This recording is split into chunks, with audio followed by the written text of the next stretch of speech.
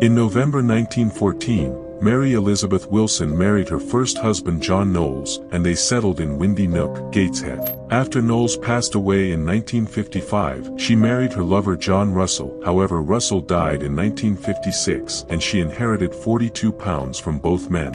In June 1957, she married Oliver Leonard, a retired estate agent, who died only 12 days into their marriage, leaving her £50. Soon after, she married Ernest Wilson, whose estate included up to £100, a bungalow, and life insurance. Tragically, Wilson also passed away within the year, and she showed no interest in attending his funeral. Her suspiciously frequent husband's deaths and disturbingly cheerful demeanor made her a subject of local gossip. The police investigation and exhumation of her last two husbands' bodies revealed high phosphorus levels, leading to her conviction for murder with beetle poison in 1957, resulting in a life imprisonment sentence.